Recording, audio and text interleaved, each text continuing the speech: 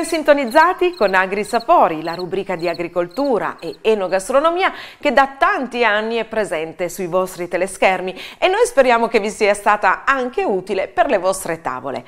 Oggi iniziamo l'appuntamento proprio parlando di cibo. Cibo e arte. Assaggia l'arte è un evento in scena a Bologna presso la fabbrica Mortadella Bologna IGP a Fico tre celebri tele di Caravaggio e Leonardo da Vinci. Sono al centro dell'aperitivo scenografico organizzato in collaborazione con Sartoria dei Sapori dal Consorzio Mortadella Bologna IGP. È un evento molto importante per noi, ci è piaciuto da subito unire l'arte all'alimentazione. All con questo evento sicuramente la mortadella viene rivisitata, quindi in modi particolari, non ce l'abbiamo più nel classico panino, ma si può addirittura mangiare da dei quadri bellissimi che Sartoria dei Sapori ha creato per noi. È bellissimo vedere anche il nostro pubblico, i nostri clienti che si avvicinano a questi quadri sorpresi e sono felici di mangiare mangiare la mortadella anche in una maniera un po' insolita.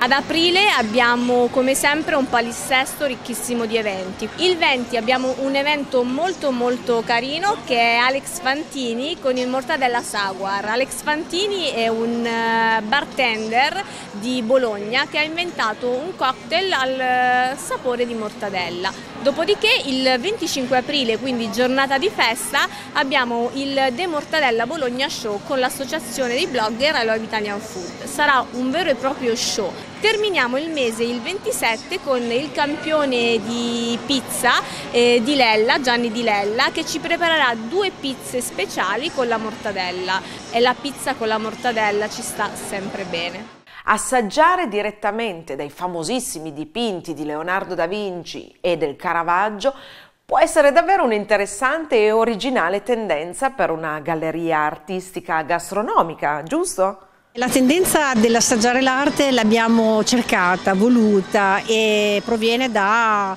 una mia ricerca negli anni in cui ho lavorato nel campo della moda e quindi avendo delle competenze di un certo tipo sono arrivata a fare questo altro tipo di lavoro che è un catering scenografico ad oggi unico in Italia perché eh, ho capito che la gente ha voglia di divertirsi e di riconoscere un'italianità che non è solo cibo ma è tutto, quindi l'arte in modo particolare perché mi piace tantissimo. Cerchiamo di eh, dare al cibo il proprio contenitore, cioè il cibo è contenitore di se stesso. Ad esempio, un salame su un davanzale non lo possiamo mettere, ma se il salame lo facciamo diventare un fiore, su davanzale lo possiamo mettere. Quindi che sapore ha l'arte, assaggiala è un nostro claim, diciamo.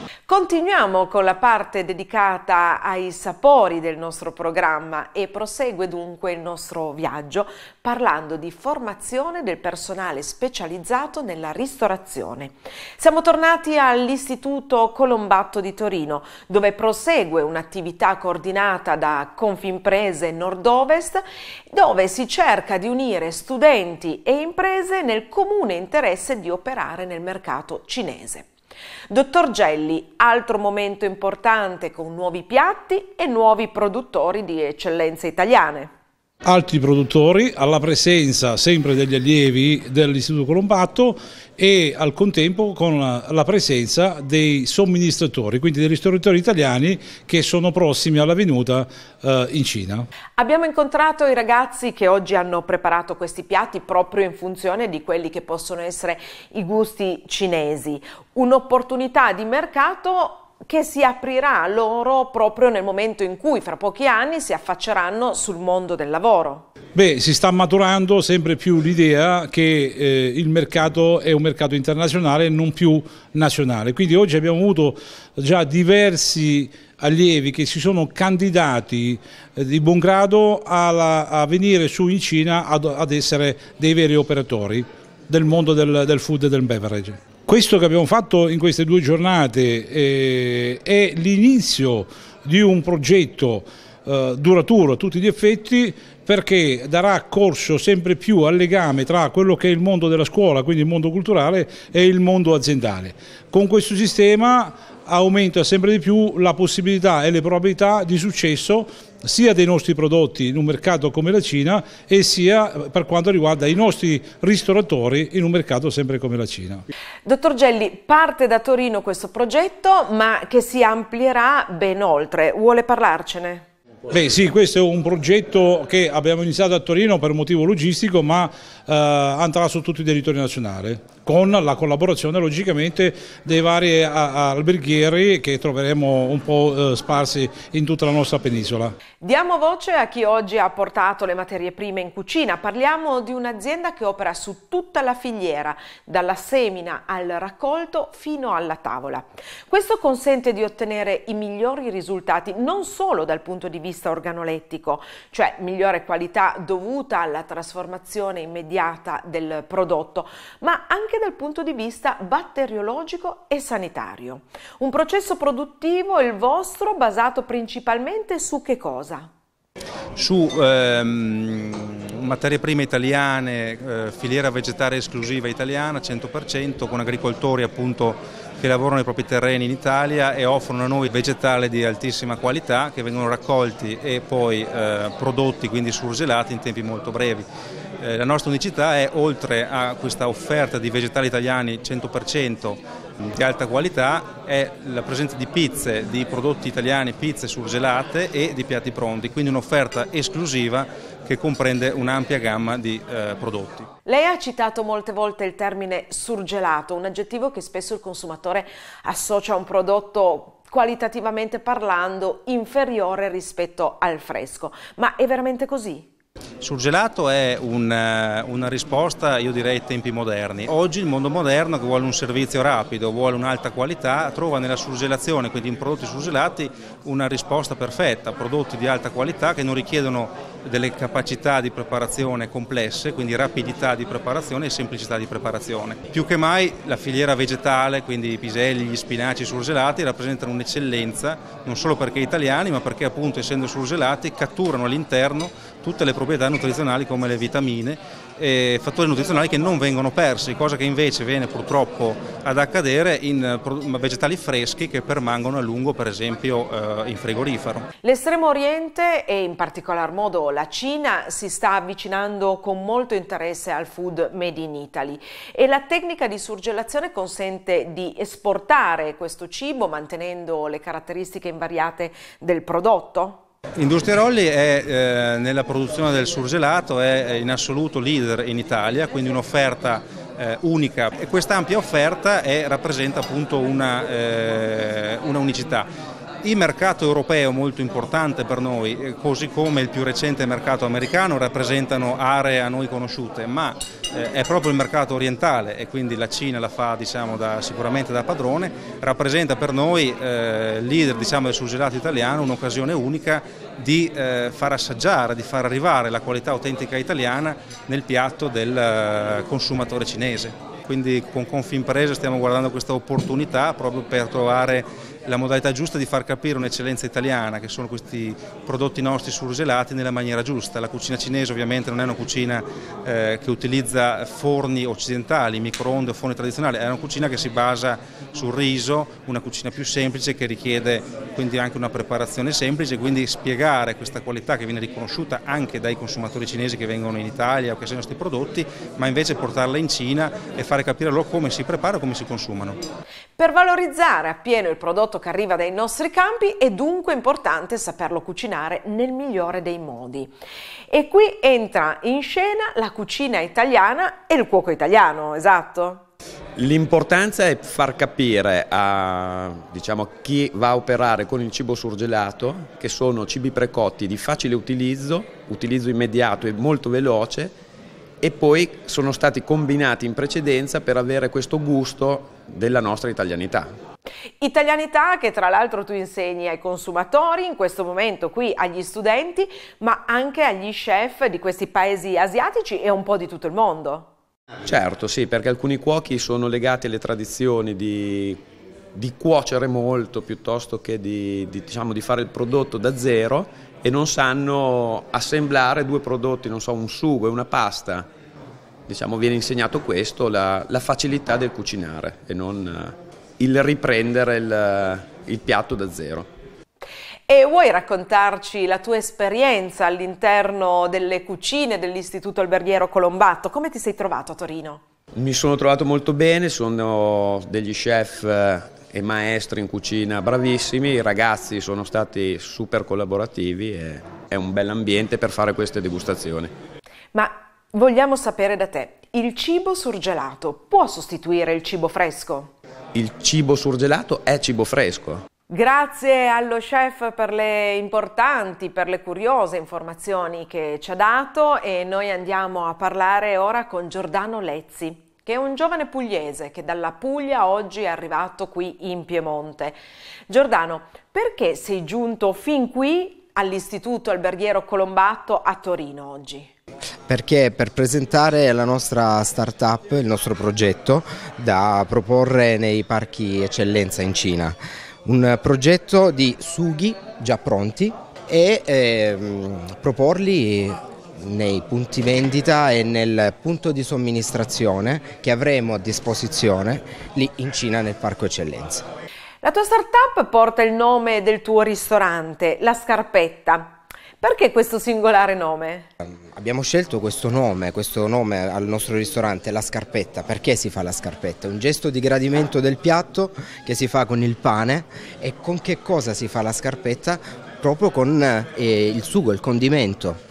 Ok, da lì è nata l'idea di produrre dei sughi già pronti e chiamarli con il nome del nostro ristorante. Ogni volta che io ho un cliente posso eh, già iniziarlo a intrattenere in questa maniera. Questo qua è flare perché se notate la bottiglia fa sempre due giri.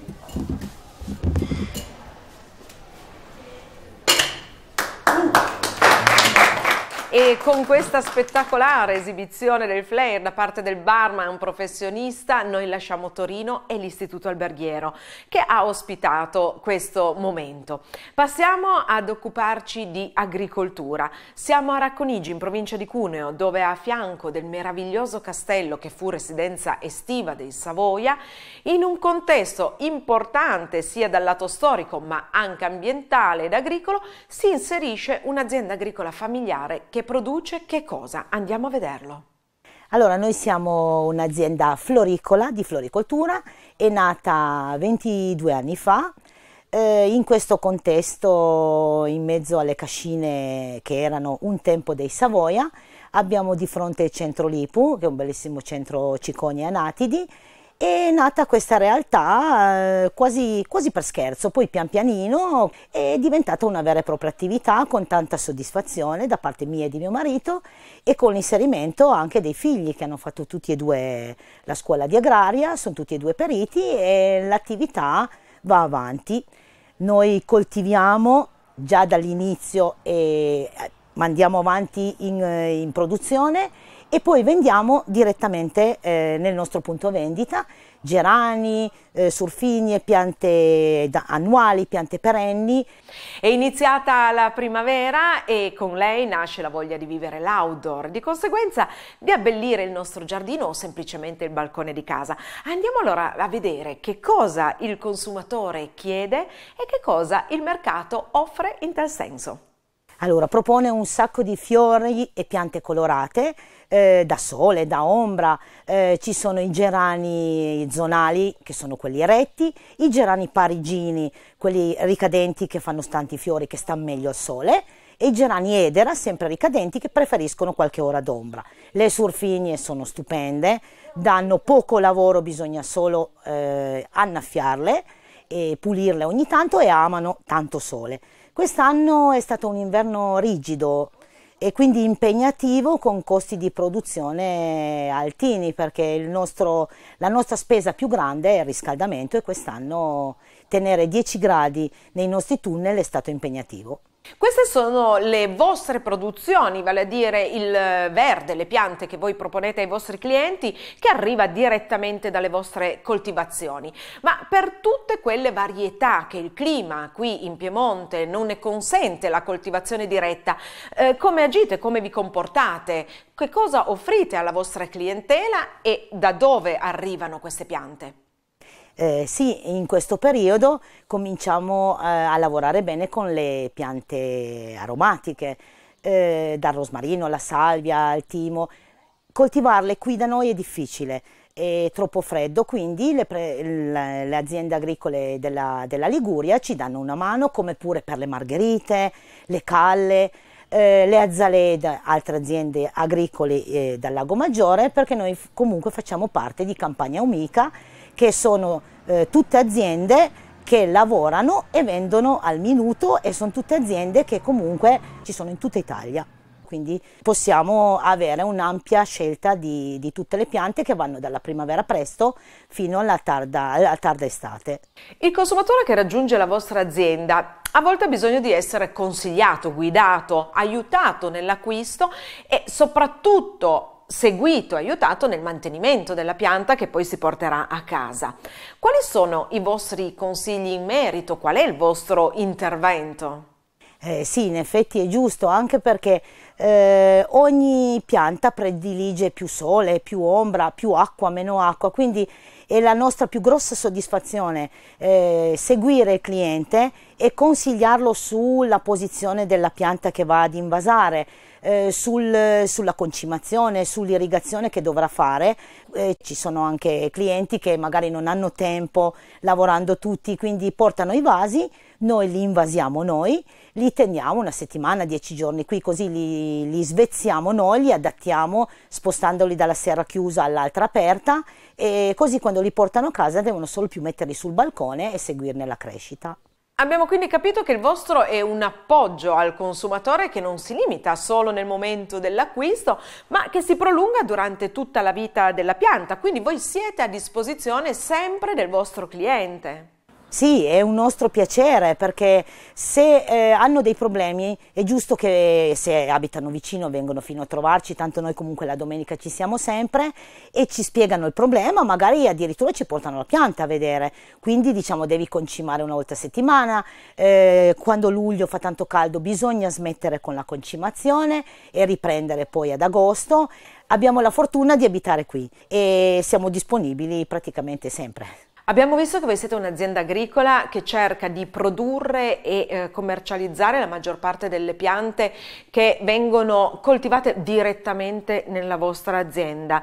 Questo per seguire proprio una vostra filosofia che rispetta la crescita della pianta con un certo tipo di lavorazione, con un certo tipo di coltivazione. Vuoi spiegarci? Sì, noi eh, cerchiamo di non spingere troppo la pianta, la concimazione è giusta, però senza eh, velocizzare troppo i tempi. In base alla stagione, non so, aprile e maggio è la stagione di tutte le piante da balcone, giardino, ivole, quindi cerchiamo di farle stare in aprile e maggio, eventualmente giugno, ma non forzare troppo perché poi la fioritura deve essere mm, in quel periodo l'ideale per poi essere portata avanti con calma, senza forzatura. Non facciamo dei fuori stagione, ecco. Quando parliamo di forzature non ci riferiamo solo alle concimazioni, ma anche alle temperature delle serre che vengono riscaldate durante l'inverno. Sì, scaldiamo mm, il minimo necessario per eh, non fare ingel avere ingiallimenti, eh, muffe, Stefano, tu sei un perito agrario che conosce bene la vita delle piante e quindi sai consigliare in base alle esigenze del cliente, ma soprattutto in base a quelle che sono le esigenze delle piante e il contesto in cui vengono inserite. Ma eh, ci comportiamo in modo da consigliare il meglio possibile, che mm, se il cliente ci chiede piante da ombra consigliamo magari una bacopa, o un'altra pianta che possa andare bene all'ombra, mentre magari consigliamo una surfigna per chi ha il balcone tutto il giorno soleggiato o comunque almeno il pomeriggio. Se c'è il sole c'è il sole, se c'è l'ombra c'è l'ombra. E per quanto riguarda l'irrigazione e la concimazione, come ci si deve comportare una volta che si è portata la pianta a casa? Ma le bagnature sono fondamentali perché comunque eh, non bisogna irrigare nel primo pomeriggio, ma comunque come si sa, ma è sempre meglio dirlo, o il primo mattino o verso la, la sera, anche magari se non si ha voglia, però dopo cena, Si cerca anche d'estate di non concimare troppo perché comunque il concime è una sostanza forte, c'è il rischio che bruci un po' la pianta. Quindi o subito dopo il trapianto o comunque dopo un mesetto per far rinvigorire meglio la pianta.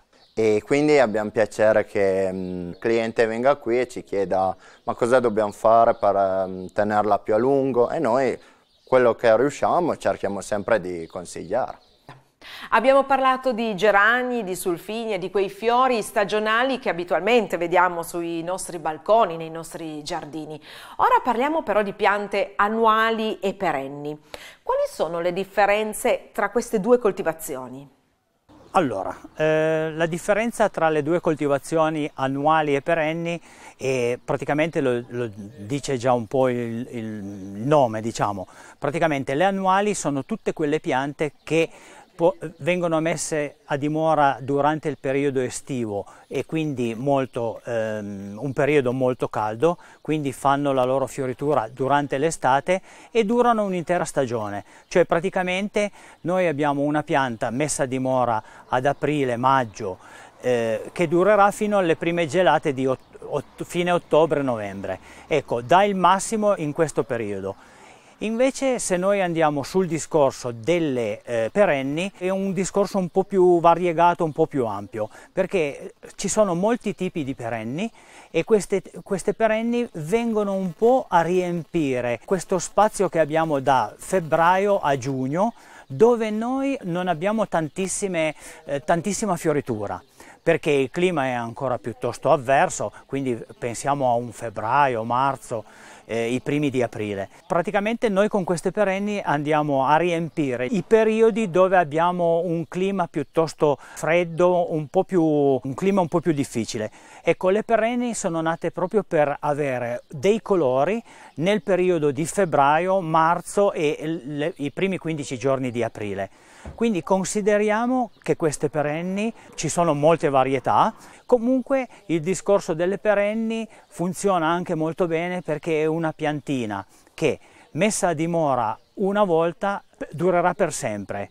Poi appunto ci sono delle perenni che tendono ad allargarsi, perenni che tendono ad alzarsi, eh, a fare più cespuglio, però hanno questa caratteristica. È vero che durante l'autunno loro certe perenni tendono a sparire, non spaventiamoci che comunque questa perenne, quando il terreno comincia a riscaldarsi, lei pian pianino fa di nuovo capolino e riparte.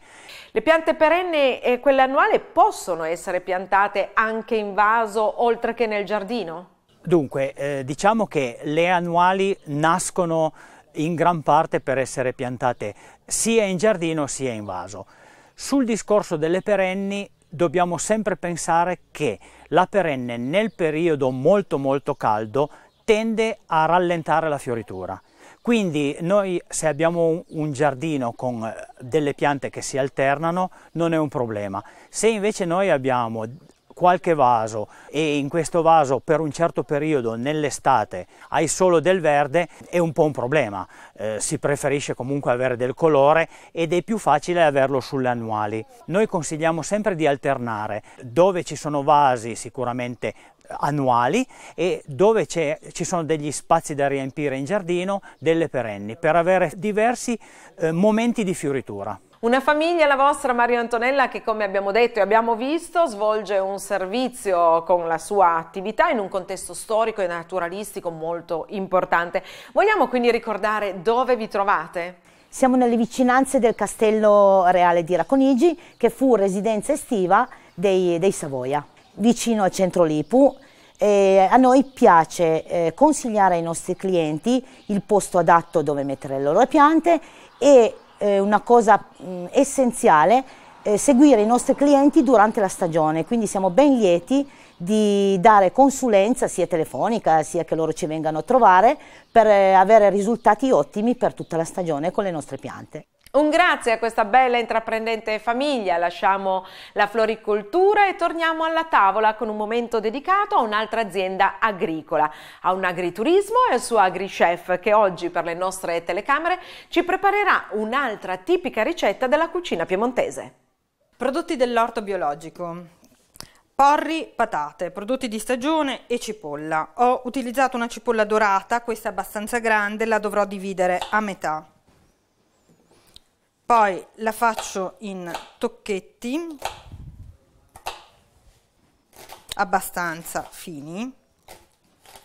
Diciamo per quattro persone dovrebbero essere una piccola cipolla, quattro patate medie, queste sono un po' piccole, quindi ne metteremo un po' di più. Metto un filo d'olio e quattro porri. Le patate le tagliamo a tocchetti piccoli. Le patate sono di nostra produzione, noi abbiamo un orto biologico e diciamo che utilizziamo i prodotti della stagionalità. Questo piatto è un piatto molto, molto semplice, molto gustoso e digeribile. Ecco, la scelta è di non fare il soffritto. Poi ovviamente dipende molto dai gusti personali, um, si può fare tranquillamente. Aggiungiamo l'acqua perché abbiamo deciso di non fare il soffritto e quindi aspettiamo che il tutto vada a bollore. 20-25 minuti, anche 30, dipende un attimino dalla tipologia delle, delle patate. Dopo aver pulito i porri si tagliano a rondelle.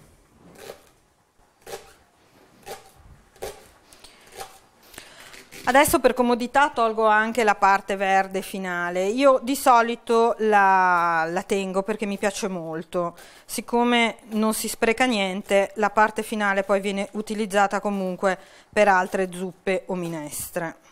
Il porro è veramente versatile ed ha un, un buon gusto, insaporisce molte pietanze.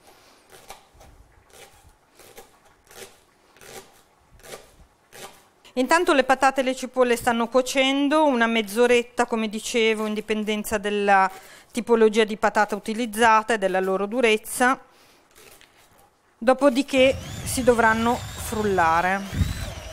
E si ottiene questa crema con, non vengono frullate finemente, si devono vedere i pezzettini di, di patata. A questa crema si aggiungono le rondelle di porro che abbiamo tagliato si amalgama il tutto e si farà cuocere ancora per 15 minuti 20 massimo. Adesso diciamo che siamo praticamente alla fase finale ed è proprio nella fase finale che noi aggiungiamo lo zafferano. Questo zafferano di nostra produzione biologico è in pistilli. Prendiamo alcuni pistilli, non tantissimi, e aggiungiamo alla fine di modo che prenda colore nell'ultima fase di cottura e prenda anche tutti i benefici che lo zafferano dà, che non è solo il colore dato dal safranale, ma anche il contenuto di carotenoidi, quindi è una, una spezia molto importante, molto importante anche per la nostra salute, per, perché ci mantiene giovani, quindi i re questo lo sapevano bene la utilizzavano molto, infatti viene chiamata oro rosso anche, non solo per il prezzo. Quindi in quest'ultima fase, perché è importante inserire lo zafferano nell'ultima fase di cottura? Perché in cotture prolungate e ad alta temperatura lo zafferano perde tutte le sue proprietà e noi non vogliamo assolutamente spendere soldi per poi perdere le proprietà così facilmente, per cui lo mettiamo a fine cottura. La zuppa adesso è pronta e adesso impiattiamo. Normalmente io utilizzo una cocotte di questo tipo che mi mantiene anche la mia zuppa calda. Adesso aggiungiamo anche lo zafferano così che dà anche colore alla ricetta e poi finiamo con alcune rondelle di porro a crudo un pistillo di zafferano. Ecco. Ora a questo punto la cocotte viene chiusa e il piatto è composto e servito. Con questa zuppa di porri e zafferano. Eh, io vedo molto bene il grignolino, eh, lo vedo bene perché la nostra zona è la zona del Monferrato e questo grignolino viene appunto dal Monferrato, da un'altra azienda agricola. Ci potete trovare a Spigno Monferrato, eh, l'agriturismo Villa Cheti,